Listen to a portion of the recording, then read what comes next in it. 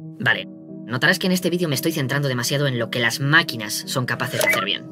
Y lo que nosotros somos capaces de hacer bien. En el siglo XIX, cuando apareció nuestro sistema educativo, no podíamos responder a esa pregunta. Porque no sabíamos bien cómo funcionaba el cerebro. Ahora tampoco lo sabemos totalmente, pero sí lo entendemos mucho mejor. Y sabemos que, uno, no podemos simplemente meter datos en el cerebro. O se nos olvidan casi todos después de un examen. El cerebro necesita ayuda para tragarse los datos. Estímulos. Los mejores estímulos son emociones. La sorpresa o la felicidad hacen aparecer en nuestro cerebro la dopamina, que nos ayuda a aprender y a relacionarnos con otros humanos. 2. Realizar ejercicios repetitivamente hasta que creamos un hábito no tiene por qué ser malo, pero las máquinas son mucho mejores que nosotros con lo repetitivo, lo predecible. Sin embargo, algo que se les da de culo es manejar lo impredecible. Para hacer su trabajo, un robot necesita que todo ocurra como se espera. De lo contrario, no tendrá ni idea de qué hacer. Un humano puede improvisar. Se nos bien. Pasa lo mismo con la especialización. No es mala de por sí, pero algo que de momento solo somos capaces de hacer los humanos es lo contrario. Cruzar cosas diferentes. Mucha de la gente que consideramos genios lo son no porque fueran los mejores en una cosa, sino porque mezclaron cosas muy distintas entre sí.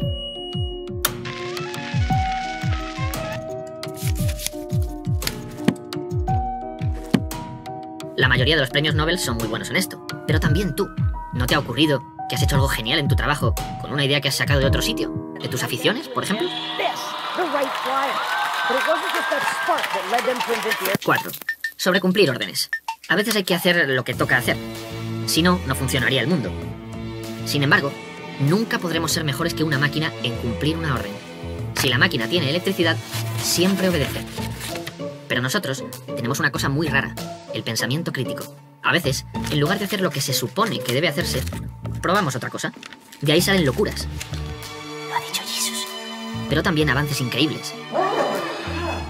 ¿Por qué no se nos entrena en usar el pensamiento crítico? Un apunte más. Nuestra educación es competitiva.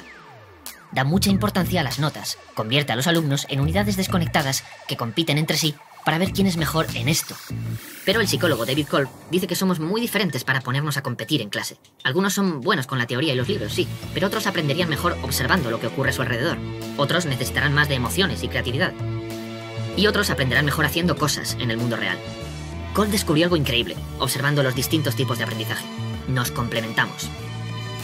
Hay pruebas de que los equipos que incluyen a personas con distintos perfiles funcionan mejor. Casi parece que estamos diseñados para ayudarnos. Podría seguir jugando a los contrarios durante una hora, pero creo que se capta la idea. Llevamos 200 años educándonos al revés de cómo nos funciona la cabeza. Es natural que los ordenadores nos estén quitando las tareas que son de datos, repetitivas y especializadas. Son rasgos propios de una máquina. Y nosotros tenemos un límite natural en lo buenos que podemos ser aquí. Los ordenadores, no.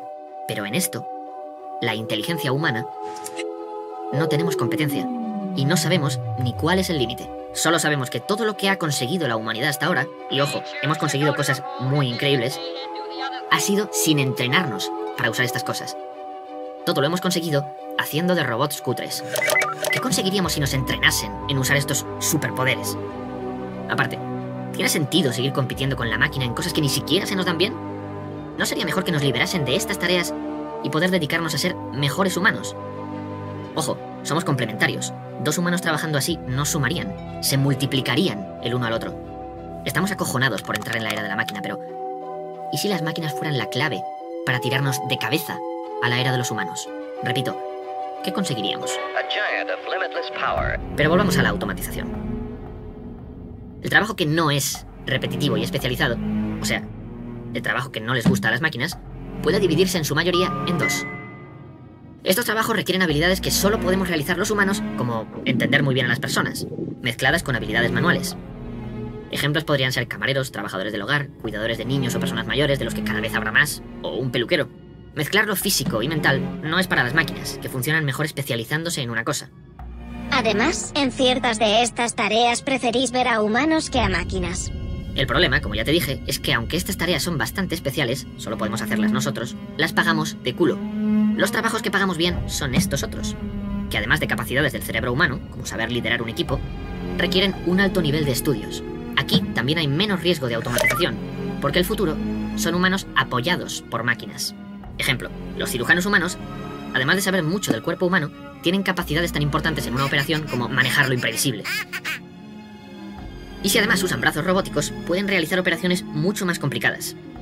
Esto es interesante, no es solo que las máquinas puedan liberarnos aquí, también pueden hacernos llegar más lejos, aquí.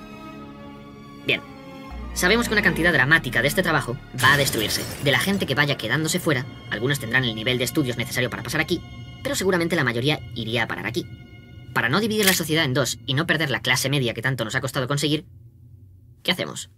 ¿Obligamos a pagar mejor estos trabajos, ya que no hay ningún ordenador capaz de hacerlos? Hay expertos que dicen que quizás sería necesario dar un sueldo básico a toda la sociedad, para que si la automatización te deja en la calle, no cojas el primer trabajo de mierda que encuentres y puedas estudiar y reciclarte en algo mejor pagado.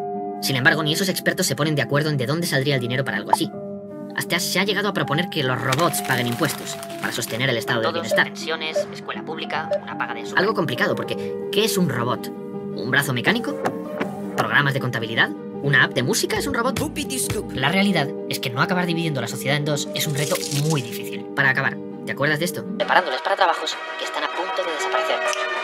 Este es otro de los mayores problemas de nuestro sistema educativo, la empleabilidad.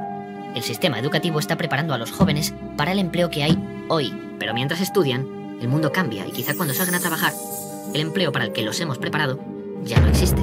Sin embargo, lo que sí habrá serán empleos que no existían cuando empezó a estudiar, como biohacker o policía meteorológico. Hay tantas dudas sobre el empleo del futuro que se leen cosas como que el 65% de los empleos que ocuparán nuestros niños aún no se ha inventado. Otros dicen que el 75%. En realidad, nadie tiene ni puta idea, pero la pregunta es clara. ¿Cómo vamos a prepararte hoy para algo que no aparecerá hasta dentro de 10 años? Este estudio lo que ha hecho ha sido examinar las habilidades que te piden en más de 900 trabajos y han identificado las 10 que más están creciendo. ¿Sabes cuáles son algunas de ellas? 1. Comprender las reacciones y emociones de los demás. 2. Resolver problemas que no hayan ocurrido antes.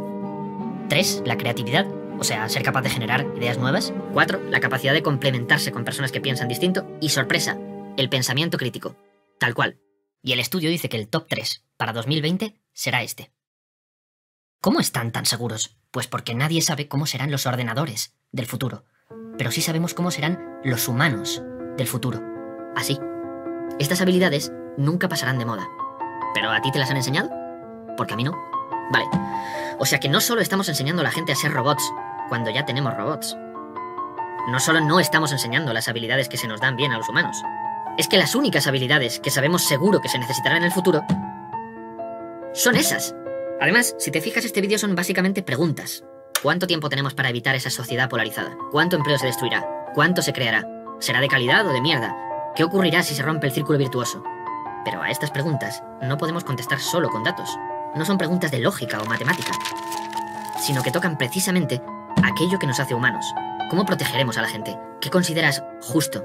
Se necesitan humanos para responder a ese tipo de preguntas. ¿Dónde están esos humanos? Desperdiciados, programados para hacer de robots.